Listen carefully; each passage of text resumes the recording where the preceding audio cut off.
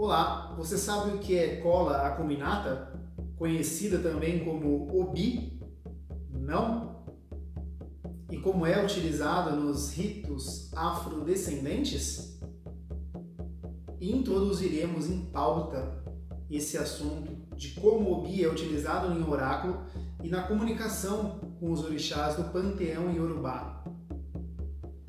Então, acompanhe o desenrolar do vídeo que você saberá pelo menos o básico de como é isso. Roda a vinheta.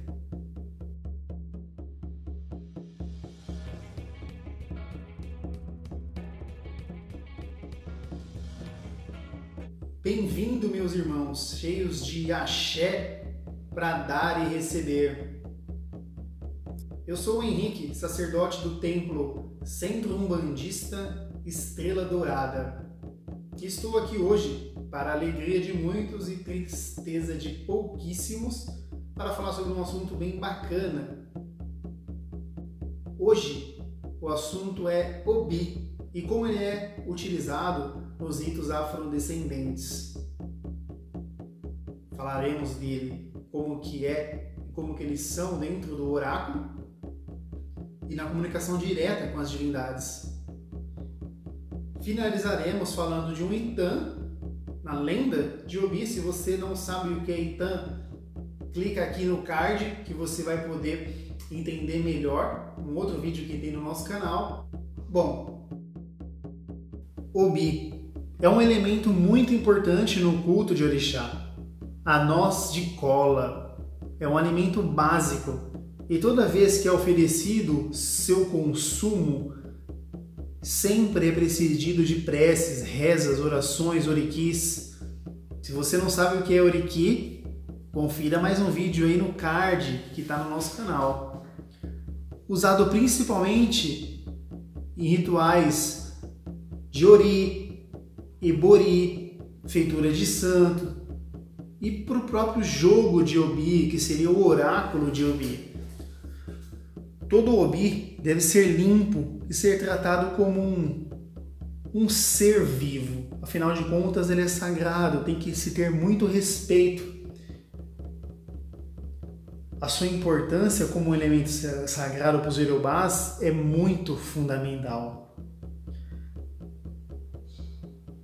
Para que serve o obi? Esse fruto africano de uso imprescindível no Essin Orixá Ibilê que é religião tradicional iorubá, sem ele, nenhuma obrigação é feita. Nos ritos para os orixás é necessário uma resposta positiva ser dada através do obi. Então, quando você está fazendo os ritos, fazendo as oferendas, fazendo as obrigações, os ebós, a gente conversa com os orixás, se comunica com os orixás para saber o que é preciso ser feito, se o que está sendo feito está de agrado essas divindades e o próprio Obi é usado além de ser ofertado para os orixás, também ele é usado como comunicação com eles. É usado como oráculo, eles dão respostas para a gente. Positiva, negativa, sim, não, fazendo com que o sacerdote ou aquele que está manipulando o jogo tenha entendimento do que é preciso para que aquela divindade aceite tudo que está sendo oferecido juntamente com as preces e os pedidos, ou até mesmo apenas como um agradecimento.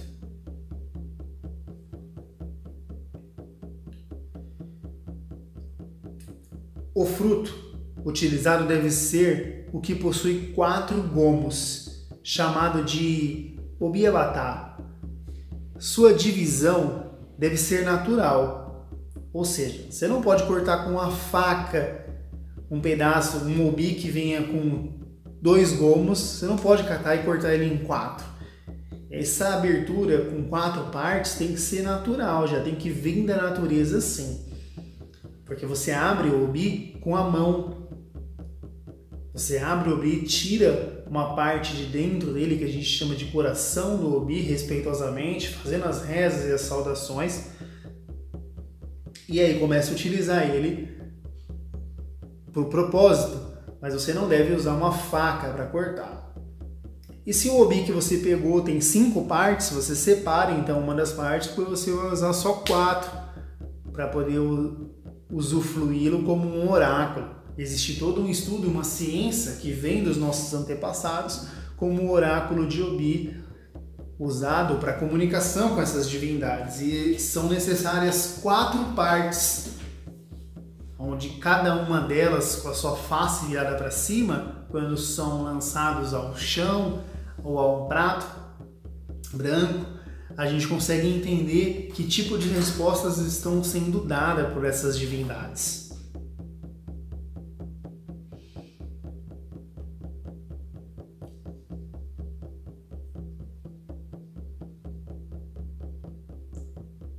local onde o obi será lançado deve ser plano, reto. Pode ser no chão ou em um prato branco, onde fundamentalmente contém a água. Água que muitas das vezes nós jogamos com a própria mão, fazendo algumas saudações e molhando o obi, deixando ele fresco, com aquele frescor da água.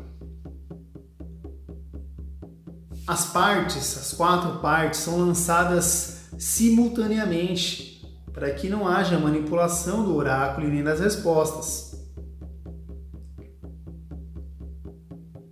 Uma exceção deve ser feita no uso do obi como jogo. Para o orixá Xangô deve ser utilizado orobô. Tem um outro vídeo no nosso canal falando sobre orobô. Confira aí no card ou o link na descrição. Então, apenas para Xangô usa-se o Orobô. O restante usa sempre o Obi. O fruto dessa árvore tem uma dimensão tão importante para os Yorubás que sua utilização vai desde os rituais de iniciação até uma consulta por meio de suas sementes para saber se determinada oferenda agrada às divindades. Em tempos de urbanização acelerada, em que os terreiros têm suas áreas verdes reduzidas ou sob constante ameaça de perda, Tirobi é uma grande vantagem.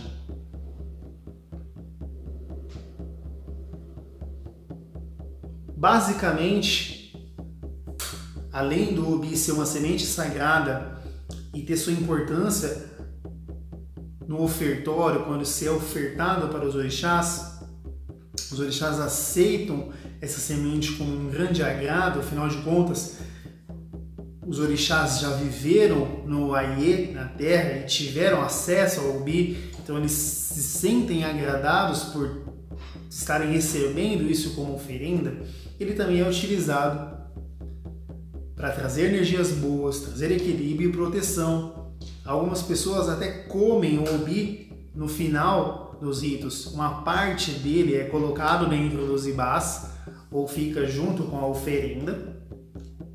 E uma pequena parte é consumida por todos aqueles que estão participando do ritual como proteção. Então, o obi dentro de você te traz proteção contra as, as mazelas, as doenças, as coisas negativas dos ajoguns, os seres negativos e ruins que vivem no plano espiritual e até mesmo afastando as negatividades do plano físico.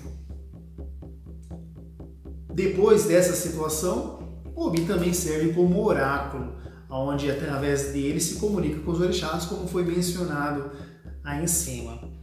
Agora, eu vou falar sobre um Itan, onde é mensurado Obi, Obi Exu. Itã, Obi e Exu. Porque Obi é jogado no chão. Houve uma época que Obi era um homem muito pobre. Segundo esse Itã, Obi já foi um ser vivo, já foi uma pessoa que viveu na época dos orixás. Um dia, Exu o visitou em sua casa e viu como Obi morava em total penúria, em total pobreza. Exu se compadeceu do mesmo e disse: Obi, vou até Orúmila e vou perguntar como eu posso te ajudar. Obi ficou muito contente e disse a Exu: Eu vou lhe agradecer pelo resto da vida.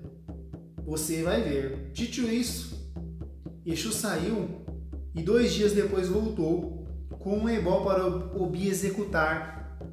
Obi fez o ebó e foi ficando rico com o tempo, mas nunca procurou Exu para agradecer. Um dia Exu foi até a casa de Obi e bateu palma. Obi abriu e foi logo dizendo: Olha aqui, não quero nada. O que você quer? Estou ocupado demais atendendo pessoas de grande importância, não tenho nada para você. Não tenho tempo para atender você, mendigo. Obi bateu a porta e entrou. Exu ficou possuído e indignado e foi comunicar o ocorrido a Urumila. O que fez Urumila? Vestiu-se com uma roupa bem suja e rasgada. Depois foi até a casa de Obi ao ver aquele homem maltrapilho e sujo na sua porta, Obi disse: Olhe, se veio pedir esmola, eu não dou esmola. E você, sujo, fedorento, como ousa bater na minha porta, sabendo que sou um homem rico? Obi, em nome de Orúmila, me socorre aqui, disse o próprio Orúmila. Obi respondeu: Orúmila que nada, Orúmila sou eu, que sou rico e não preciso de ninguém. Então Orúmila tornou-se um lindo homem e disse: Não está me reconhecendo, Obi? Obi arregalou os olhos de susto e se prostou aos pés de Orúmila, gritando: Babami, oh, Babami! Meu rei, meu rei, Orúmila disse: Por tua ingratidão, arrogância e orgulho, de hoje em diante não haverá sacrifício, nem oferendas aos irúmios orixá, que você não seja incluso. Tu terás partido, tu serás partido em quatro partes roladas no chão e será colocado na cabeça do homem mais vil na terra. Sem contar que quando Exu comer, tu terás que fazer parte do banquete dele e ainda terás que responder se ele está satisfeito ou não. Logo você veja, Obi, o orgulho não vale nada, a humildade sim. Aqui, fi, pataki, be, alubó, ni, ba, nishu, lo, ebe, jubaô. Tradução do provérbio de Fá. Ninguém produz farinha de inhame só por ser importante. Somente quem possui inhames pode fazer farinha Muito de inhame. Já que você chegou até aqui, no finzinho do vídeo, mostra que você é especial. E para me ajudar a ter certeza que você gostou, deixa seu like, comenta que você gostou. Elogios fazem muito bem para a alma. Inscreva-se no nosso canal, compartilhe, ative as notificações. Assim você terá acesso e ficará por dentro de tudo que rola por aqui. Ainda, os algoritmos do YouTube reconhece que você está participando e quer ter mais acesso ao nosso canal e ele te mostra mais ainda do nosso conteúdo. Você diz... Para apoiadores do nosso canal, temos um grupo no WhatsApp e um grupo no Facebook que nós disponibilizamos e-books, livros em PDF, textos de motivação e espiritualidade e ainda possibilidades de divulgar produtos e serviços Seja um apoiador ou apoiadora do canal. Faça como a Luciana, seja um apoiador ou uma apoiadora do canal. E no final do vídeo, nós homenagearemos você com uma foto legal que você mandar. Agora, se você quiser ser um parceiro ou um patrocinador do canal, divulgaremos no final do vídeo ou no início o seu trabalho também. Entre em contato conosco para qualquer um dos objetivos acima e nós nos comunicaremos eu diria a você como fazer parte desse time. O nosso contato é 11 6028 6102. Gratidão, paz, luz e boa sorte.